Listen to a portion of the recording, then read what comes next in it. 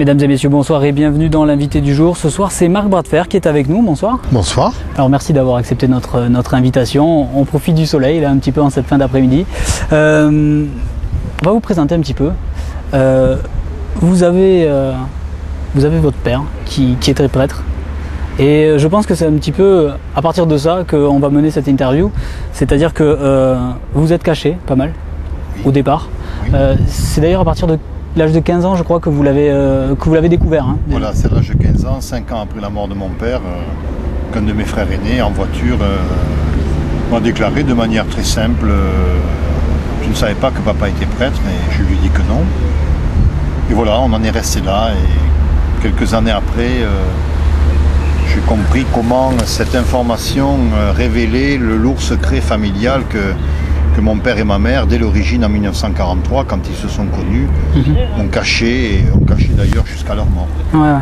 Votre, votre mère qui était en plus mineure à l'époque, hein, 19 ans. Voilà, c'était une grande mineure, une grande voilà, jeune une grande- femme euh, ou jeune fille, on pourrait dire euh, très pure, euh, euh, dans une certaine candeur juvénile, euh, très bonne éducation, bourgeoise, leçon de piano, fille de notable. Elle chantait comme soliste euh, à la messe dominicale de Fourmi, cette petite ville industrielle du département du nord de la France. Elle voulait d'ailleurs être religieuse quand elle était jeune adolescente et elle voulait avoir des enfants, ce qui évidemment dans le catholicisme est assez incompatible. Et finalement, inconsciemment ou subconsciemment, euh, elle s'est laissée entraîner par un, un grand amour pour mon père qui était prêtre dans cette petite ville. Il était destiné à partir en mission en Inde, mais comme les communications maritimes étaient rompues en raison de la guerre, il est resté dans le diocèse où il avait été affecté. Et là euh, est né ce qui peut naître euh, entre un homme et une femme de manière euh, la plus naturelle, la plus spontanée et sûrement parfois la plus violente. Un, un grand amour, mais un amour qui évidemment était interdit. Un enfant euh, a été conçu de leur première rencontre. Ma mère me le disait quelques mois avant de mourir d'ailleurs, c'était le 2 mars 1943. Et mon frère aîné, Bernard, qui est toujours vivant, qui a 67 ans bientôt, est né 9 mois jour pour jour, le 2 décembre. Mais évidemment, très vite, cette grossesse devait être cachée. Et euh, quelques personnes ayant eu vent du scandale faisaient pression, notamment auprès du curé doyen de cette ville, pour que la liaison amoureuse soit, soit rompue. Mais ma mère était déjà enceinte et euh, Au-delà de rompu, c'est caché quoi. voilà, c'est Voilà. ca- voilà, c'est c'est caché parce que euh, un prêtre qui, euh, qui met enceinte une femme mineure, fille de notable, c'est pas très bien. Ça vous envoie directement en enfer à l'époque. hein. Déjà, pour communier, il fallait être à jeun. C'était péché mortel de communier, de prendre le corps du Christ, l'hostie, sans être à jeun. Donc, euh, vous imaginez pour cet homme qui avait consacré sa vie à Dieu, hein, qui avait euh, formulé des vœux, qui avait été ordonné, c'était évidemment euh, un péché extrêmement grave. Et pour ma mère aussi, je, me souviens au cours d'une émission pour une autre télévision à laquelle je participais, un directeur de séminaire, à l'époque directeur du séminaire de Toulon, me disait en m'apostrophant, mais votre mère n'a rien fait pour résister à votre père. hein. Mais je lui ai dit, mais pourquoi vouliez-vous qu'elle résiste puisqu'elle l'aimait? Voilà, enfin.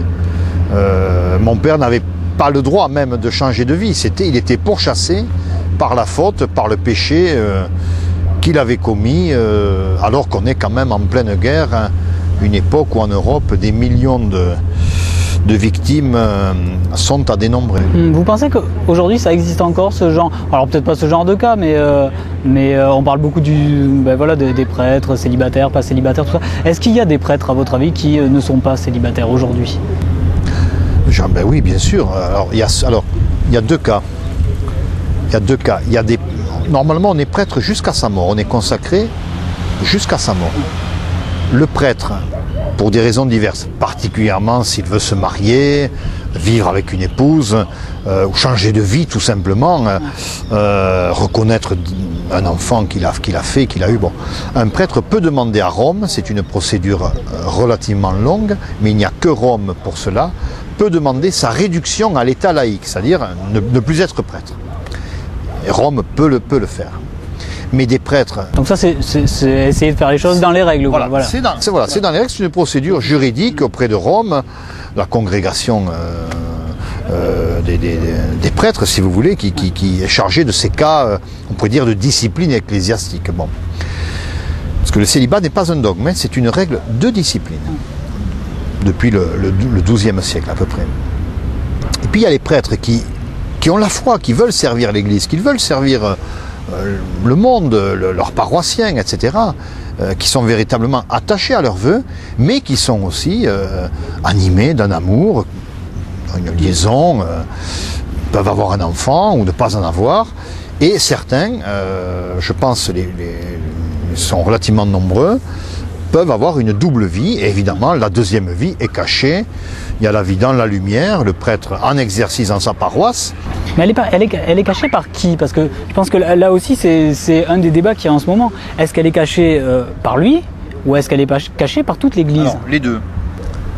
Les deux. Des prêtres qui, vont prendre le train, vont prendre leur voiture pour retrouver leur compagne à, plusieurs centaines de kilomètres, c'est arrivé, ou, le village à côté. Bon, là, ça peut se savoir un peu plus vite, bien entendu, au fil du temps. Et puis il y a l'Église qui peut savoir, parce qu'il peut y avoir des dénonciations.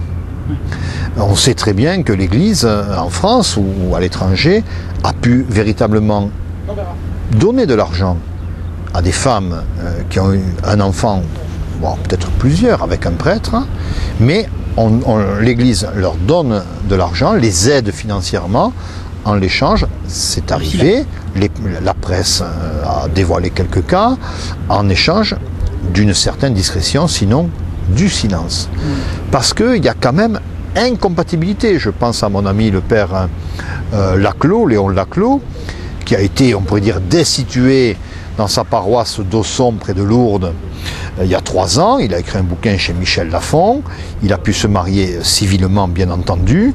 Mais euh, l'évêque de Bayonne l'a relevé de ses fonctions euh, parce que tout le monde savait qu'il vivait au presbytère avec sa compagne. Alors, il avait eu sûrement le tort, je lui disais avec le sourire, de franchir le Rubicon, euh, de franchir la ligne jaune ou la ligne blanche, comme on voudra, en tout cas de franchir la ligne disciplinaire de l'Église, euh, euh, de faire vivre sa compagne au presbytère, évidemment, tout, le monde, tout le monde le sait. Aujourd'hui, aujourd'hui, il y a de moins en moins de prêtres on, le, voit. Est-ce que c'est pas ce dogme dont vous parlez Est-ce que finalement l'Église ne va pas devoir revenir dessus? Et, et j'ai une deuxième question à, l'intérieur de celle-là. Est-ce que finalement ça choquerait tant que ça les fidèles?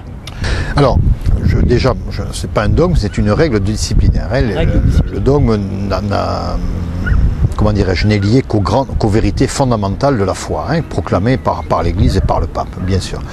Euh, alors, est-ce que est-ce qu'il y aurait euh, est-ce que les prêtres seraient est-ce que c'est une raison de la crise des vocations? C'est une des raisons. Ce n'est pas la seule il y a des crises de vocation chez les protestants alors que les protestants peuvent se marier. Bon, chez les orthodoxes, etc. C'est une des raisons, ça n'est pas la seule. Maintenant, euh, pour répondre à la deuxième partie de, votre question, est-ce que ça choquerait les fidèles?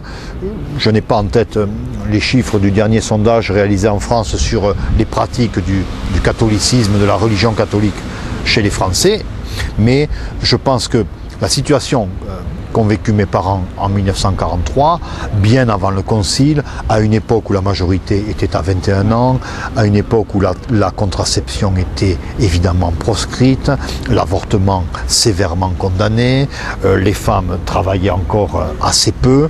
Bon, en 60 ans, 70 ans, les conditions sociologiques, économiques, culturelles en France, hein, en France bien sûr, et en Europe bien sûr, voilà, ont évolué. La pratique religieuse a beaucoup baissé, le nombre de prêtres aussi, etc.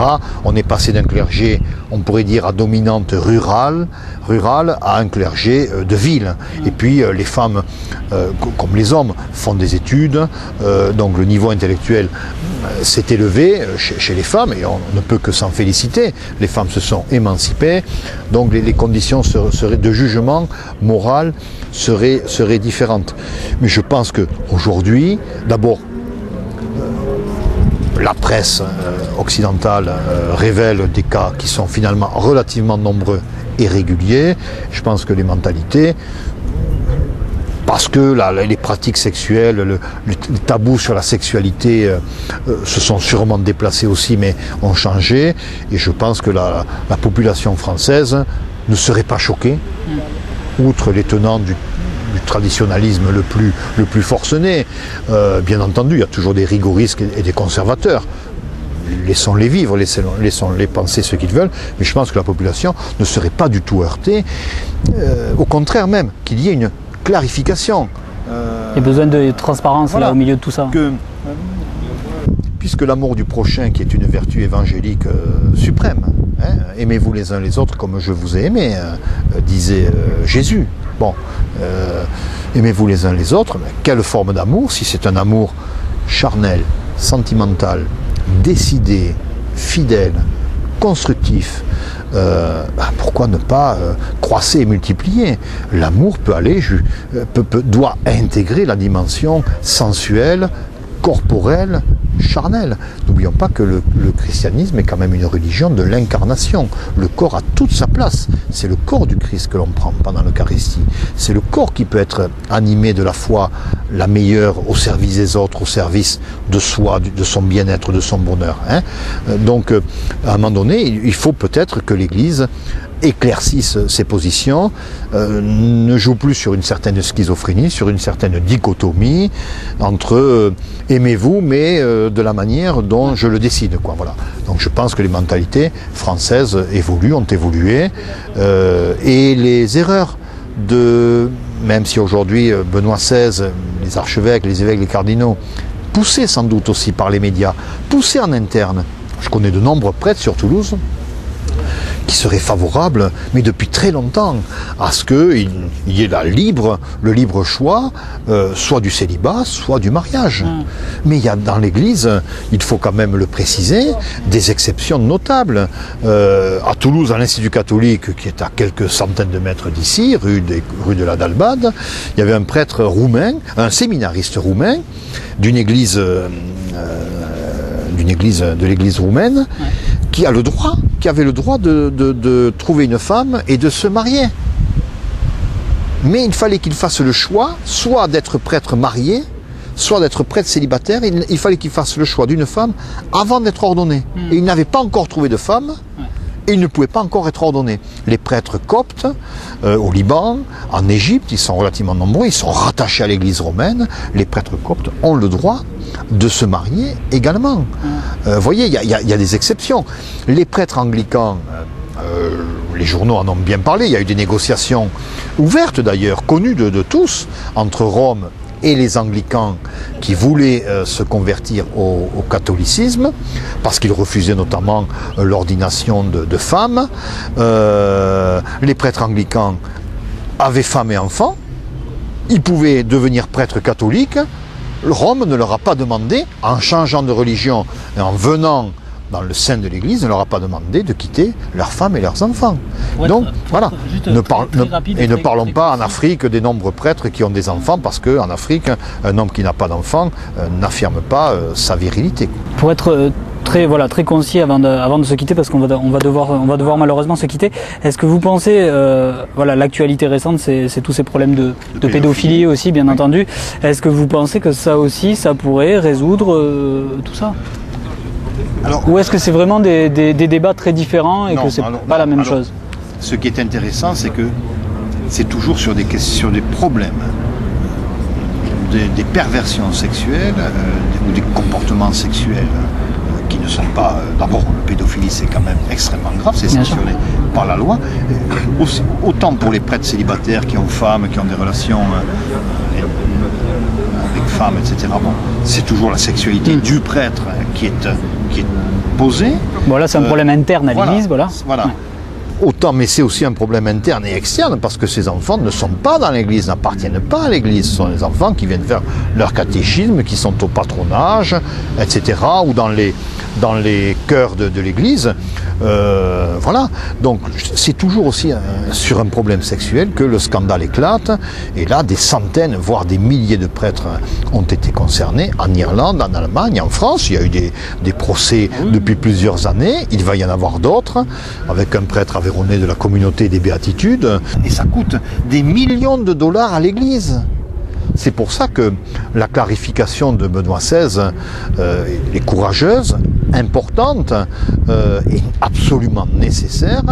Euh, il a encore pleuré, versé des larmes tout à fait sincères à Chypre samedi ou dimanche dernier, quand il a entendu des victimes qu'il avait invitées à, à parler, enfin à, à lui parler directement lors de cette visite à Chypre et le, pape a été ému jusqu'aux larmes.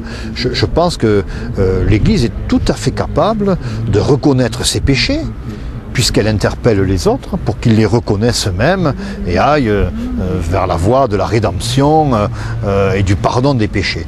Puisque l'Église est si capable de dire la vérité pour les autres, il faut aussi qu'elle soit capable de la dire pour elle-même et aussi euh, sûrement euh, de se réformer parce que c'est peut-être euh, c'est peut-être là aussi qu'il que, y a toutes les solutions. On vous remercie. Merci à vous de m'avoir invité. Voilà. On se reverra très prochainement, je crois, parce qu'il y a un livre en cours là. Je serai très heureux de recevoir à nouveau votre invitation, n'est-ce pas, pour le dictionnaire des compagnons de la libération.